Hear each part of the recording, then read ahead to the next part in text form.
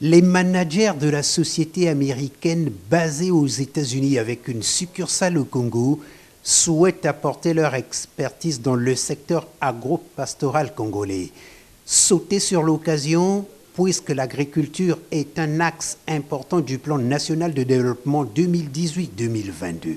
Nous sommes venus voir le Premier ministre dans quelle mesure nous pouvons apporter notre contribution pour que nous puissions apporter une valeur ajoutée euh, au secteur de l'agriculture pour amener le pays vers, euh, vers, le développement. Nous allons visiter deux départements, aller toucher du doigt euh, la manière dont l'agriculture est opérée dans le pays. Puis, le chef du gouvernement a ensuite accordé son hospitalité au Rotary International, notamment au gouverneur du district 9150, Madame Anna Kemajunkodia, en mission de travail au Congo.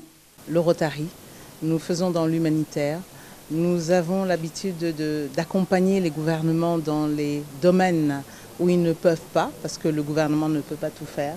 Donc nous, en tant que Rotariens, hommes euh, comme vous et moi, euh, c'est-à-dire pas forcément euh, excessivement riches, mais riches de cœur, nous prenons de notre temps et de notre expérience pour voir dans quelle mesure les problèmes que nous rencontrons dans les différents pays, dans nos sociétés, dans nos communautés, nous puissions à notre niveau et en partenariat avec d'autres Rotariens dans le monde entier, faire en sorte que ces problèmes soient en partie résolus.